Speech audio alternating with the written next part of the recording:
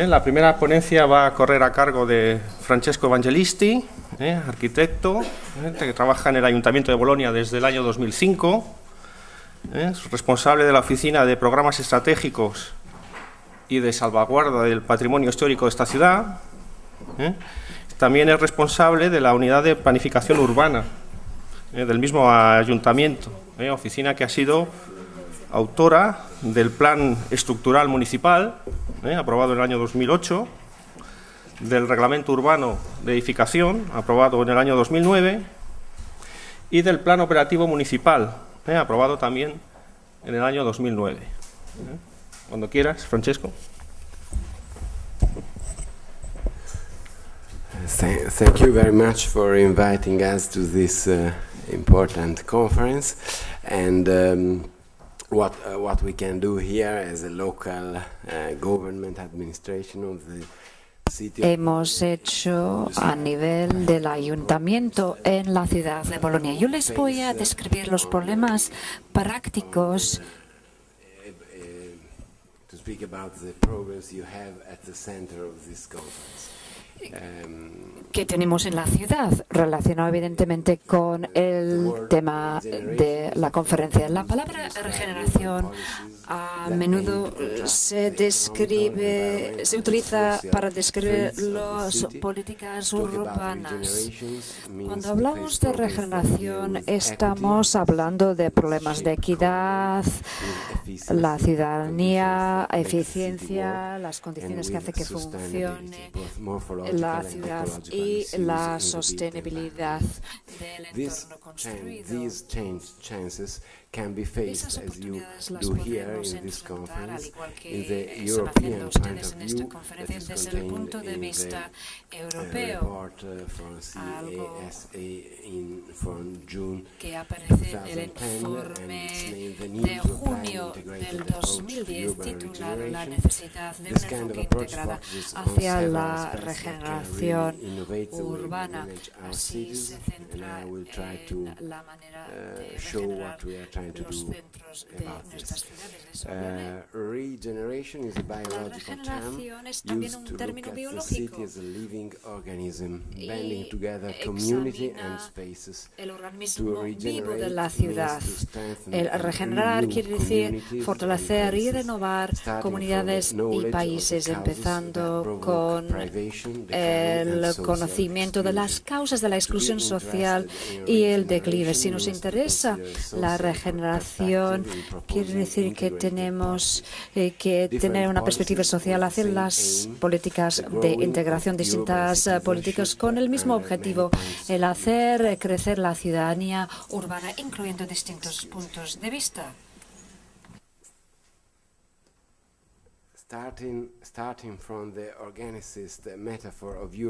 Si utilizamos el metáfora orgánico de la regeneración urbana, es posible introducir una perspectiva histórica y considerar la regeneración como un proceso continuo de una ciudad, una ciudad viva que se regenera continuamente.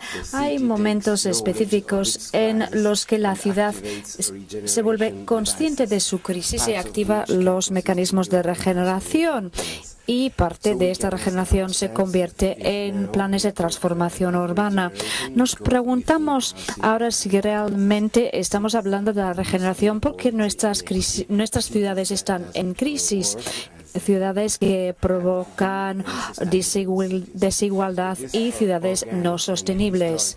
Si tomamos esta perspectiva orgánica y histórica, el concepto del casco histórico tiene que verificarse continuamente. Es imposible considerar todo eso desde un punto de vista estadístico y inamovible. La historia de las ciudades es eh, compleja, no se limita a un, único barrio de la ciudad. y es una historia que cambia con el tiempo. Si examinamos la ciudad de Bolonia ahora, tenemos que mencionar varios centros históricos. Aquí vemos el, el, casco antiguo anterior y aquí vemos la ciudad dispersa de ahora. una ciudad dispersa que también tiene otros pequeños eh, centros históricos que son importantes para el crecimiento de la ciudad. Si consideramos los límites de la ciudad, podemos tener distintos eh, puntos de vista acerca de los distintos lugares históricos de la ciudad. Ahora reconocemos que eh, la ciudad tiene un valor histórico, incluso la parte que no está dentro del casco histórico. Hace cuatro años cuando iniciamos nuestra historia, el título del casco histórico se reubicó para incluir la parte construida fuera de las murallas de la ciudad que datan del siglo XIV. Dentro de esta zona hay dos murallas diferentes, una construida en el siglo V, la otra en el siglo XII. Así que pueden apreciar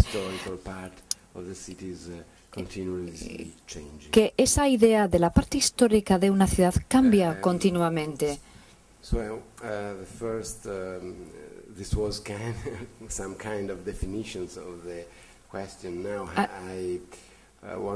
Tras haber hecho una pequeña definición de lo que es un casco histórico, ahora quisiera hablar sobre Europa y la regeneración desde un punto de vista histórico. y la regeneración como condición mm, necesaria para el crecimiento de una ciudad.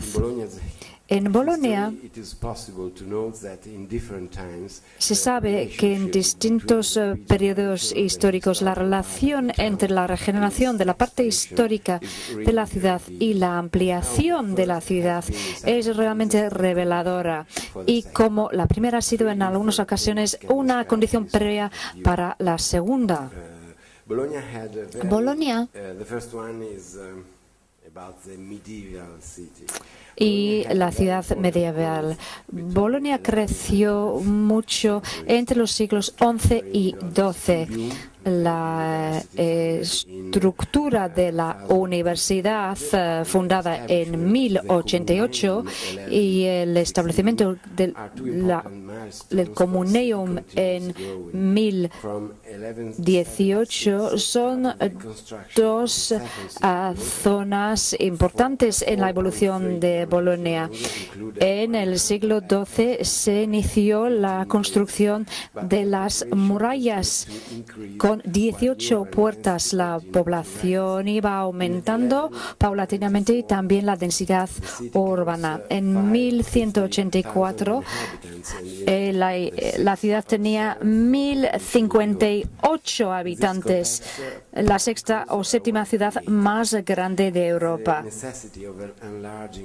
La necesidad de ampliar los edificios para dar cabida a más personas, eh, para que tuviera en un lugar útil para poder vivir y trabajar en la ciudad, creó una nueva ciudad urbana eh, con un futuro muy prometedor.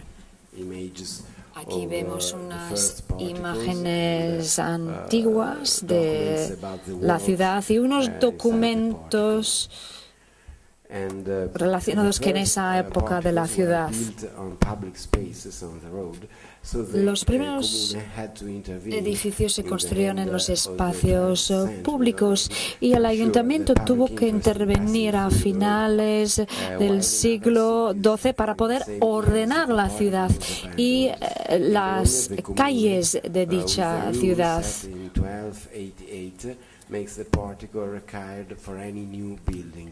En 1288 se empezó a aprobar los primeros, las primeras normas para la construcción de casas en la ciudad.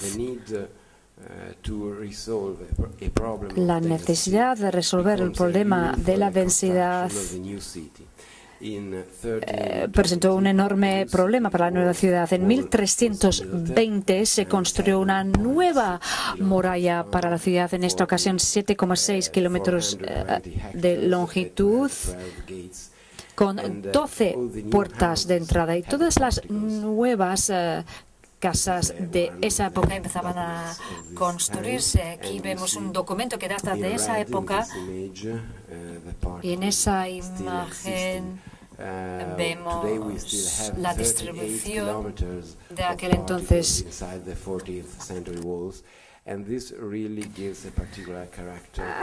y aquí vemos la naturaleza específica de la ciudad.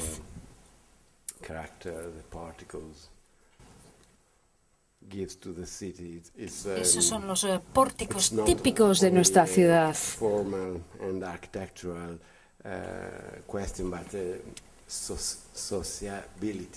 No es una cuestión relacionada necesariamente con la arquitectura, pero eh, con la vida social de la ciudad, el tener estos uh, pórticos. Eh, estamos trabajando ahora con esos pórticos porque estamos intentando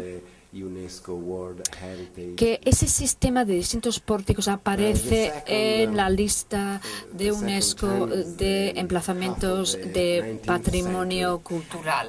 Y ahora quisiera hablarles eh, sobre eh, la ciudad y el siglo XIX.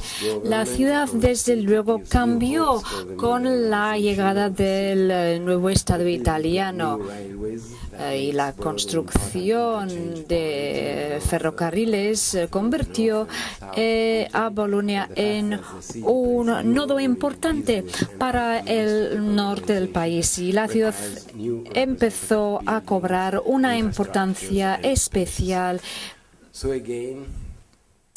a nivel comercial. De nuevo, la ciudad repensó su futuro, reestructurando su centro y ampliándose más allá de las antiguas murallas. Así, a partir de 1860, Hubo varias eh, transformaciones importantes, una mejora de las condiciones de accesibilidad, una nueva carretera desde la estación de trenes hasta la plaza mayor, la ampliación de otras carreteras y la construcción de un nuevo estilo de arquitectura que quería representar el nuevo papel de la ciudad en este nuevo estado de Italia.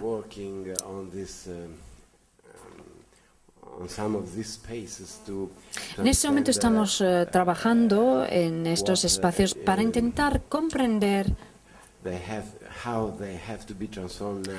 cómo uh, los deberíamos transformar hoy para poder satisfacer las necesidades de la era moderna.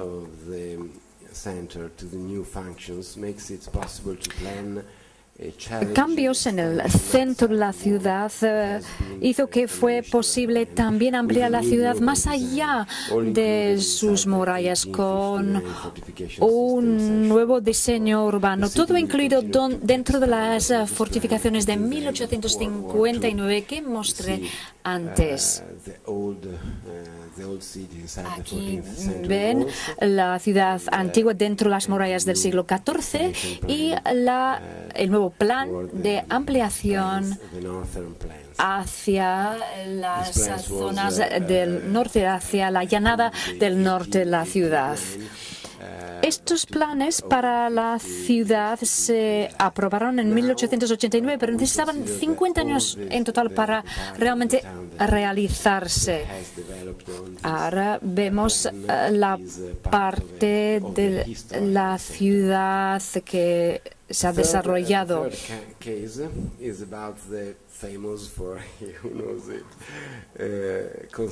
Ahora quisiera hablarles acerca del plan famoso para la, conservación y restauración del casco histórico. La ciudad se inició eh, su reconstrucción tras eh, los daños provocados por la Segunda Guerra Mundial, ampliando eh, el área de la ciudad hacia el norte y más allá de las murallas del siglo XIX.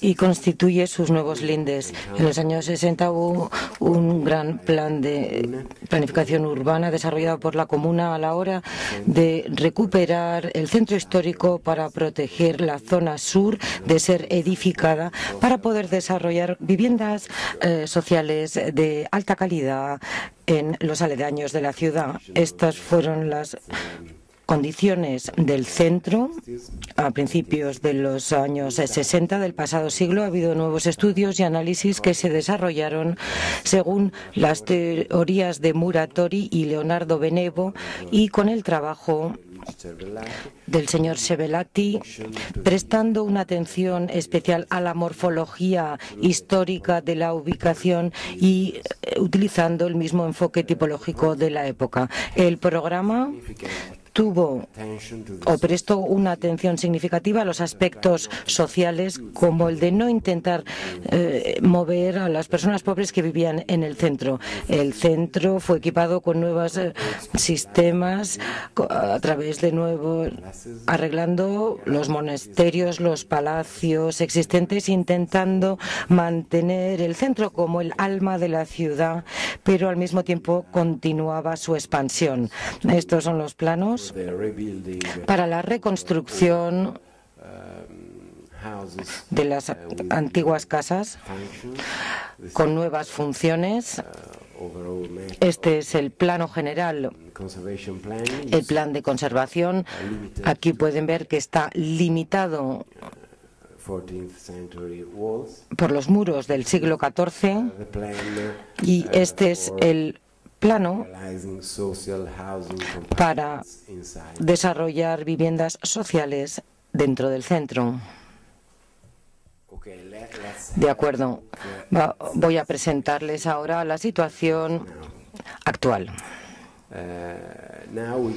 Ahora podemos preguntarnos si el aspecto actual de la transformación urbana o en esta fase podemos eh, asimilar su desarrollo al anterior. Y, por tanto, cuál es el significado a la hora de trabajar con la regeneración eh, de los centros urbanos para lograr objetivos de crecimiento. No es fácil entender cómo el eh, crecimiento urbano se configura hoy en día, no solamente en el caso de Bolonia, sino también en otras ciudades. Es verdad, por tanto, que el crecimiento se tiene que pretender siempre como una expansión del territorio urbano. Si las condiciones sociales y económicas actuales pueden crear un sistema metropolitano habitable o si lo podemos considerar hoy en día como un tema anticuado. Creo que la situación actual es ambigua. La distancia entre las declaraciones de sostenibilidad y eh, falta de sostenibilidad por parte del Gobierno sigue produciéndose cada vez un mayor desfase. Por tanto, debemos plantearnos estas preguntas. Antes de que debamos considerar qué tipo de cambios hay que producir en los um, centros históricos. La situación hoy en día es completamente diferente de hace 40 años, cuando las políticas de regeneración iniciaron su andadura. Bolonia tiene 377.000 habitantes hoy en día en todo el municipio y alrededor de un millón de personas viviendo en el área metropolitana población diaria que se estima en 550.000. Un tercio de estas personas, 180.000, utilizan el centro para distintos propósitos, eh, lo cual supone una densidad y complejidad de formas de interacción que quizá no se puedan encontrar en el resto de la ciudad. En 1981 la población era de alrededor de 70.000 um, residentes y lo cual era el 14% de la población del municipio. Después esto ha empezado a disminuir en los últimos años, especialmente en los 80. Hoy en día hay alrededor de 53.000 residentes en el centro y la población también ha disminuido en otras áreas. La densidad es de 13.000 habitantes por kilómetro cuadrado, cinco veces la densidad del resto del municipio. La población residente en el centro histórico durante La mayoría han vivido ahí durante los últimos 50 años, pero desde el año 2000 empezó a aumentar. La estabilidad demográfica se deriva del equilibrio de las eh, emigraciones, lo cual corrige el equilibrio natural. La población cambia constantemente. Hay presencia de jóvenes más que en el resto del municipio. El cambio de las personas en el centro es muy rápido. El 40% de los residentes del centro no vive ahí durante un periodo superior a los 10 años. Como puede ver, es una realidad en constante cambio, no es estática, no es una parte de la ciudad estática respecto a su población. Sin embargo, aparte de los residentes, tenemos que considerar las personas que permanecen en el centro sin vivir en él. Alrededor de 20.000 personas, por ejemplo, estudiantes universitarios u otro tipo de eh, personas. Eh, las personas que llegan al centro para trabajar o estudiar son alrededor de 63.000 personas, los visitantes ocasionales diarios, como personas que van a hacer compras, turistas, usuarios de equipamientos públicos para ir a eventos culturales, son alrededor de 45.000. La alta densidad, la alta incidencia de visitantes cuando lo comparamos con los residentes y distintos modos de permanecer en el centro histórico durante el día o durante la noche hacen que esta eh, zona urbana sea la más problemática de la ciudad, considerando la cohabitación de personas que tienen distintas necesidades en un contexto donde hay pocos espacios públicos disponibles y no hay modo posible de aumentarlos. Otros temas importantes a los que nos debemos enfrentar son la incongruencia entre la buena apariencia de los edificios edificios y eh, los espacios públicos y la congestión de tráfico, que a pesar de que está un poco controlada, eh, no respeta siempre las estructuras urbanas. Hay que hablar de calles estrechas, lo cual y difíciles de transitar, lo cual eh, supone un perjuicio económico para los minoristas y pequeñas tiendas. La estrategia de integrar la regeneración urbana nos indica cómo abordar la regeneración del centro histórico y cómo puede ser útil a la hora de mantener procesos de sostenibilidad que pueden aplicarse a toda la ciudad. Si el centro histórico se considera desde una perspectiva de evolución y si cumple los objetivos de igualdad, eficiencia y sostenibilidad, sin perder el ojo a la importancia de su mantenimiento.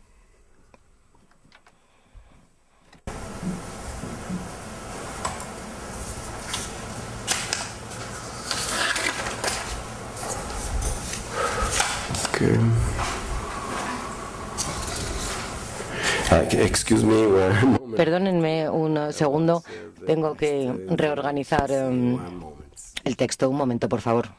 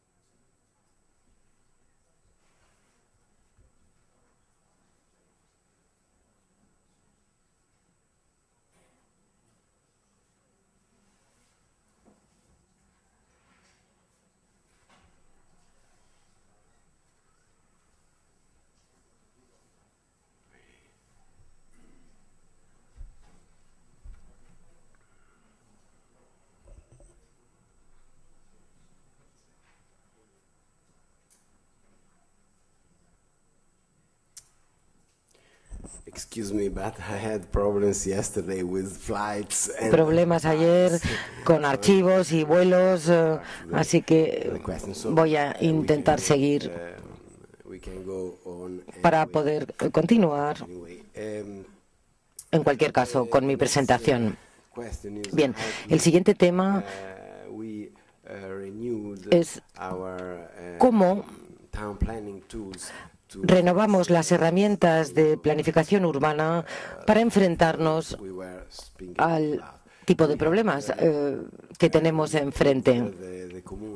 La Comune aprobó, el gobierno local aprobó unas nuevas herramientas de planificación entre el 2008 y el 2009. Se trató de nuevas herramientas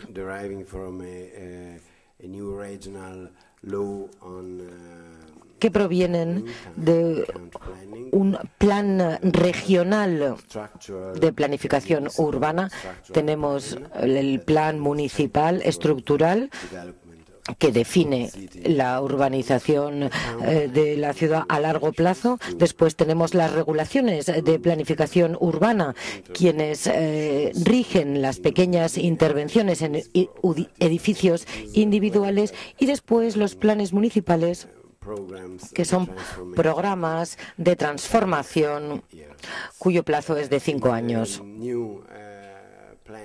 En este o con estas nuevas herramientas de planificación reconsideramos la situación del centro histórico que les he presentado eh, anteriormente. Pueden ver que estas son distintas partes de la ciudad histórica que han sido así calificadas por las nuevas herramientas de planificación, los distintos colores de la transparencia, los distintos niveles de azul, son los distintos tejidos que se han reconocido dentro del casco histórico. La parte azul es la zona histórica, pero aún así eh, tiene distintas características y, por tanto, está sujeta a distintas regulaciones y estrategias.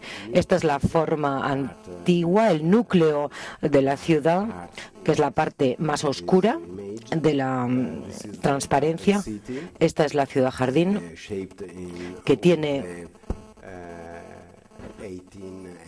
una configuración que se inició en los años 80, como les he explicado. Esta es la expansión fuera de la muralla que se realizó en los primeros años del siglo XIX y estos son ya tejidos históricos especializados como distintos eh, barracones eh, para usos deportivos y hospitales. Eh, planes reconocen las características específicas de cada una de las zonas específicas de la ciudad y da espacio para una transformación directa y estratégica. Este es el mapa que les muestra algunas de las indicaciones principales de la ciudad histórica, pueden ver que las carreteras tienen distintos códigos de color, ya que el plan intenta diferenciar las distintas partes de la ciudad histórica, no solamente según sus características morfológicas, sino también por el carácter que se ha deseado para cada parte de la ciudad. Tenemos algunas carreteras que, por tanto, son más importantes para su uso de transporte público, otras para las tiendas y la parte en amarillo de la ciudad se considera mejor para la vida y la habitabilidad. Esto es un detalle del mapa que les he mostrado anteriormente. Hay que decir que, o podemos destacar, que el punto central son los espacios públicos y no solamente los edificios. Si intentamos comparar los dos planos, el de 1969 y el nuevo, podrán ver que los antiguos planes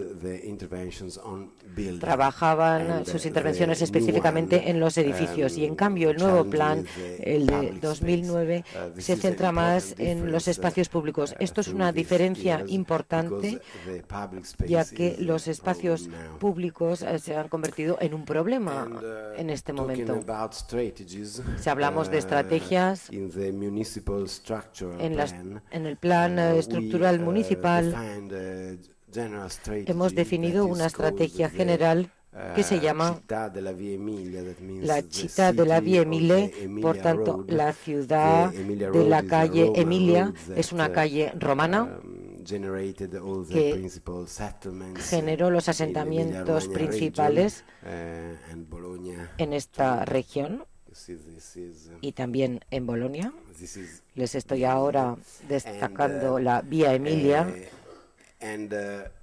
y esta estrategia quiere devolver a esta antigua calzada su calidad de regenerar la ciudad, de uh, generar relaciones entre los ciudadanos.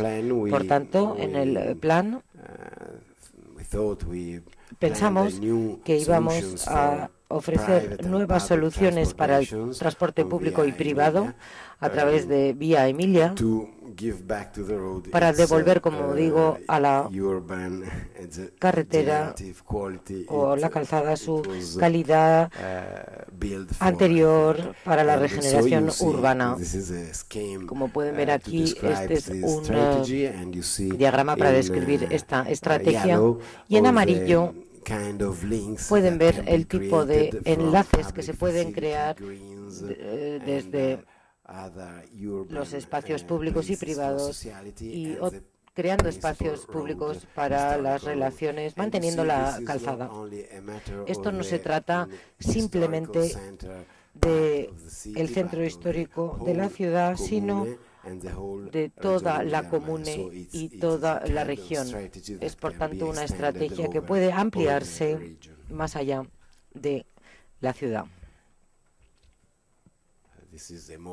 Esto es ya una representación más técnica que la que les he mostrado anteriormente, que era más una representación que utilizamos para conversar o debatir sobre las estrategias con los ciudadanos.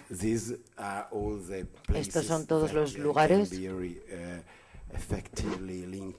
que pueden estar interconectados de un modo eficaz entre el centro y la Vía Emilia. Creo que hay dentro del centro, um,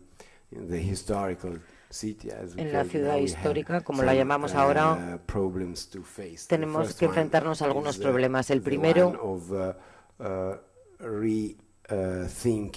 es el de repensar los espacios públicos como algo que se debe utilizar uh, según se utilizan ahora. Nosotros no realizamos intervenciones en espacios públicos durante muchos años. En cuanto empezamos una nueva época de intervenciones, Después de todas las reflexiones que les he explicado y que incluimos dentro del plan, nos dimos cuenta que para realizar intervenciones en esta zona debíamos conversar directamente con los ciudadanos. Así que desarrollamos distintos planes y para poder diseñar estos espacios públicos Iniciamos unos talleres uh, participativos con los ciudadanos. Um, Por ejemplo, esta es la Piazza Verdi, uh, que es una uh, plaza muy importante dentro de la zona universitaria, dentro del centro histórico, y es un lugar um, que realmente se utiliza mucho. Un lugar donde hay muchos conflictos entre los distintos usuarios, los estudiantes, los académicos, los habitantes, los que trabajan en oficinas cercanas. Así que la conversación entre estos distintos grupos de usuarios es a veces muy difícil. Estamos intentando entender qué tipo de diseño puede adecuarse mejor para satisfacer las distintas eh, necesidades de cada grupo de usuarios. Estas son algunas fotografías del día en el que celebramos el taller en la piazza. Ahora está cerrado. Antes estaba abierto al tráfico rodado. Lo que intentamos trabajar era algunas soluciones, plantear alternativas, ver cómo podrían funcionar. Este fue el primer acuerdo al que se llegó sobre los distintos trayectos para utilizarlos a la hora de acceder a la piazza. Este es el edificio. Nos damos cuenta de la transformación eh, posible, aunque seguimos debatiendo sobre cómo terminarlo, aunque ya hemos hecho la primera parte del trabajo. Y pueden ver que incluso eh, las obras del edificio, la estructura del edificio se ha protegido Uh, lo cual es un modo de seguir reflexionando sobre el uso de la nueva plaza y las necesidades de las personas que van a seguir utilizándola.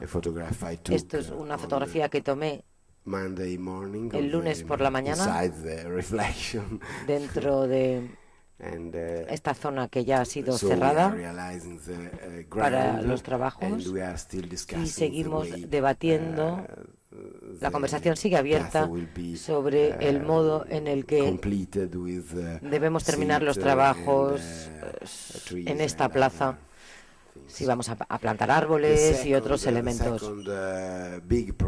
El segundo gran problema a la hora de gestionar la ciudad histórica en este momento, como les he dicho anteriormente, es el tema de las infraestructuras.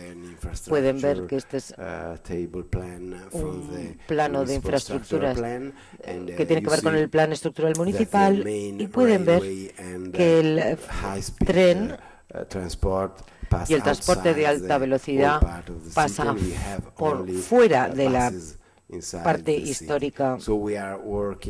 Así que estamos uh, trabajando uh, en distintos uh, métodos, distintos modos de poder crear un nuevo sistema de accesibilidad al centro de la um, ciudad. Pueden ver que este es el centro histórico y la zona de las colinas hacia el sur y este es el progreso de la nueva um, estación de tren Uh, Hubo un gran uh, concurso de arquitectura que fue ganado por Arata Isisaki. Este es un proyecto de Isosaki para la nueva estación de tren de Bolonia, que en este momento está en fase de construcción.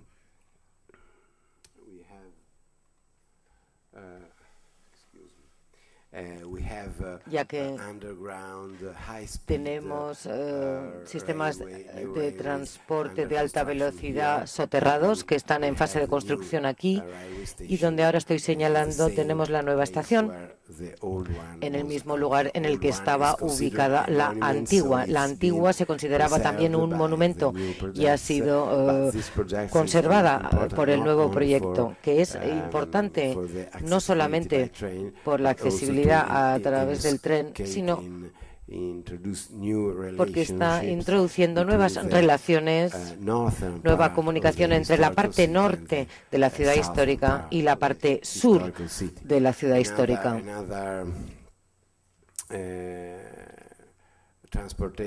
Otro uh, sistema de transporte sobre el que estamos trabajando es un autobús que pasa por la parte histórica de la ciudad. Uh, um, es algo en lo que estamos eh, trabajando para que exista menos impacto sobre el aire y el ruido y también es una ocasión para poder recalificar los espacios públicos. Este es otro sistema de transporte que relaciona y lleva a los pasajeros desde la estación al aeropuerto y esto es realmente algo muy importante para toda la ciudad. Es un modo de transformar las antiguas líneas ferroviarias que cruzaban la ciudad y que ya Uh, no son interesantes para su uso a través de los sistemas de alta velocidad. Uh, y, sin embargo, uh, es importante relacionar las distintas partes del área metropolitana. Esta es una de las nuevas estaciones diseñadas para conectar el antiguo sistema existente, que solamente tenía una única estación de tren y sin embargo ahora hemos eh, realizado uh, trabajos sobre pequeñas estaciones de tren a lo largo de la ciudad. Esto es eh, lo que llamamos la ciudad del tren. Uh, uh, El tercer tema trata sobre la renovación urbana y Empezamos desde la ciudad histórica. Pueden ver todas estas eh, zonas con distintos colores, que son áreas con nuevas funcionalidades alrededor de la ciudad histórica. Las zonas ferroviarias ya no se utilizan. Había zonas de uso militar o zonas industriales que ya no se utilizan más para sus propósitos originales y que ahora, sin embargo, forman parte del centro de la estrategia para crear nuevas centralidades dentro de la ciudad. Este es un ejemplo de la parte de la ciudad en la que estamos trabajando actualmente. Este es el lugar de la estación de tren. Esta es la parte norte. Tenemos distintas áreas de uso militar e industrial y también sistema ferroviario que ha sido abandonado, vías férreas que han sido abandonadas y estamos trabajando uh, para devolverlas y acercarlas a la uh, ciudad, uh, introduciendo, como he dicho antes, nuevos elementos de centralidad en esta parte de la ciudad. Estos son algunos ejemplos. Así que podemos reutilizar edificios antiguos que tenían otros propósitos. Esto es un mercado hortofrutícola que fue abandonado hace años, pero su estructura se puede utilizar ahora, la estamos de hecho utilizando con una nueva plaza porticada en esta nueva centralidad. Y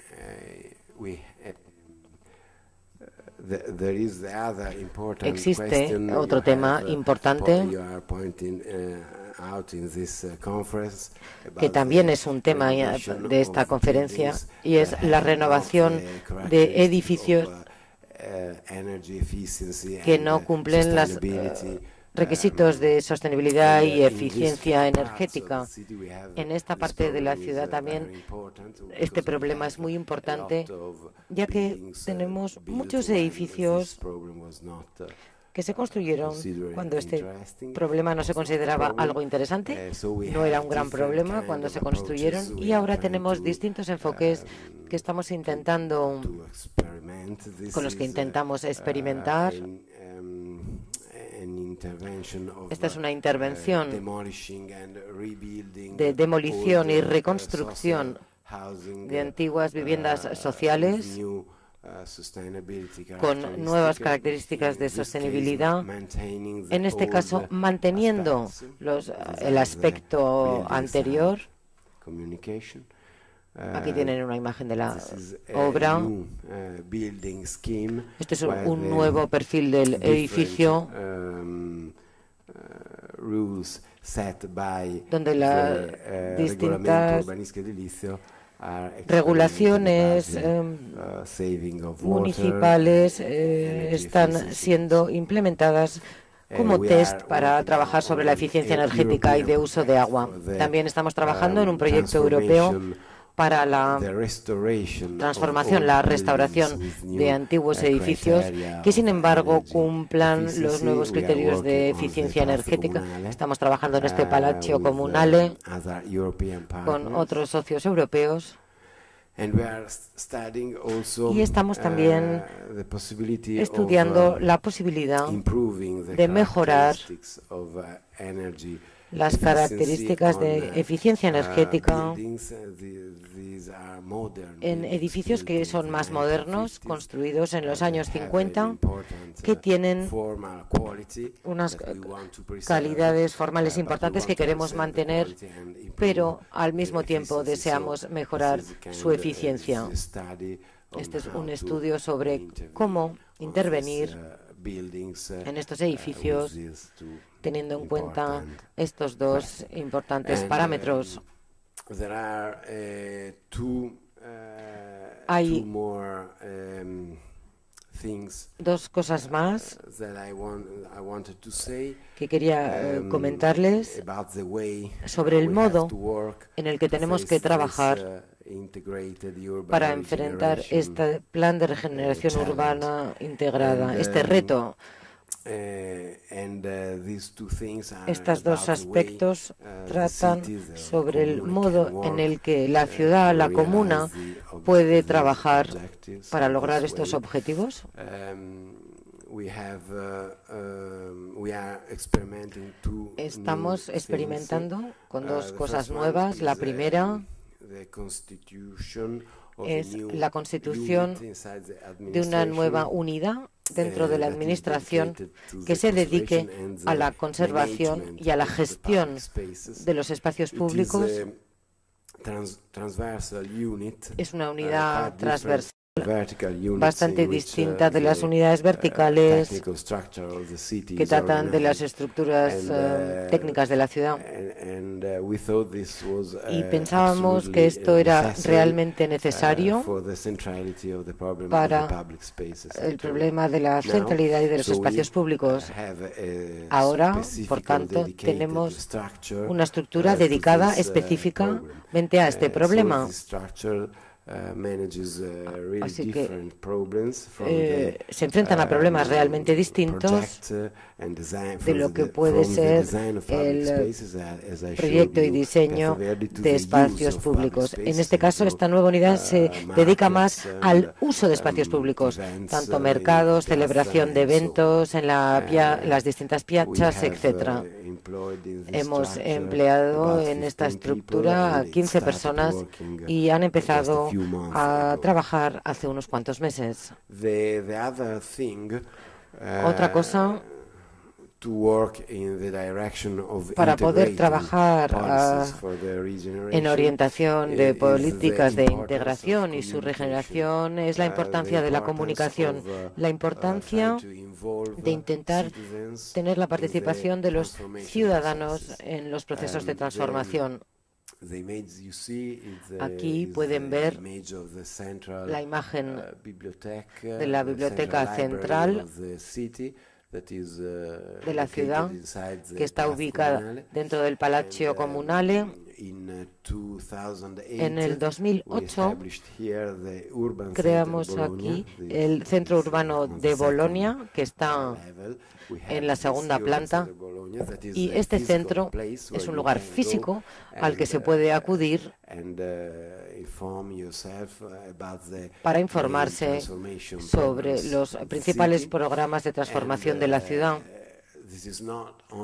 No es solamente para proporcionar información, sino también para conversar sobre los planes y para aumentar la participación de los ciudadanos. Tenemos distintos laboratorios de participación como el que les he mostrado anteriormente y más ejemplos. Creo que este tema es realmente importante respecto a la regeneración y utilizamos, por tanto, este lugar para el desarrollo de distintas actividades. Saqué esta fotografía la semana pasada. Por ejemplo, ahora estamos Uh, presentando una exposición que trata sobre la regeneración de un antiguo mercado urbano en el centro de la ciudad, uh, un mercado que ya no se utiliza para su propósito original. uh, y estamos intentando hacer actividades artísticas y de comunicación con la participación de las personas que trabajan ahí para darle una nueva vida a este mercado. Esta es la exposición que desplegamos eh, dentro del centro urbano de Bolonia. Uh, Espero uh, que esta imagen de las distintas cosas que estamos intentando hacer haya sido útil para sus eh, reflexiones sobre la regeneración urbana. Discúlpenme por los problemas técnicos que he tenido, discúlpenme por mi mal inglés. Pero bueno, muchas gracias por su atención. Si tienen alguna pregunta, estaré encantado de responderla.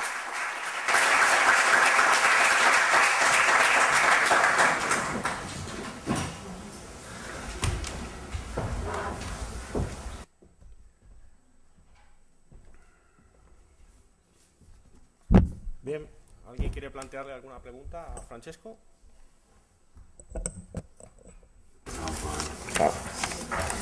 Pues muchas gracias. Te esperamos en la, en la mesa redonda.